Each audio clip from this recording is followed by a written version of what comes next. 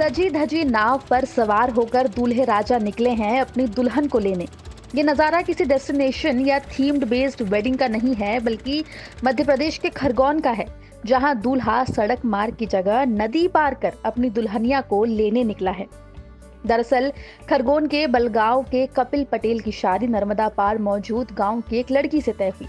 लड़की के गाँव की दूरी सड़क मार्ग से 20 किलोमीटर पड़ती है, लेकिन अगर नर्मदा नदी पार करके जाया जाए तो केवल एक किलोमीटर ही दूरी पड़ती है। ऐसे में, सड़क का लंबा फेरा बचाने के लिए दूल्हा कपिल और सभी बाराती नाव से ही दुल्हन के गाँव बारात लेकर निकल पड़े।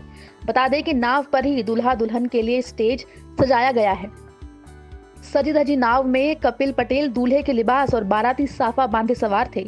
वहीं नर्मदा नदी के दूसरे तट पर दुल्हन दिव्या के परिजनों ने बारातियों की अगवानी की। वहीं मौनी बाबा आश्रम में फेरे और विवाह की रस्में पूरी की गई। और गुब्बारों से और फूलों से सजी नाव से ही बाराती संग दूल्हा दुल्हन लौट गए। आपको बता दें कि गाँव बलगांव के बुज़ुर्ग बताते हैं कि नर्मदा के उस पार के रिश्तेदारी की बारातें हमेशा नाव से ही आती रही है।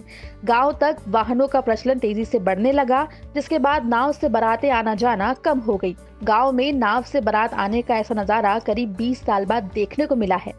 कई साल बाद ये देखकर कई लोगों की पुराने दिनों की यादें ताज़ा हो गई हैं। खरगोन से उमेश रेवलिया की रिपोर्ट एमपी तक।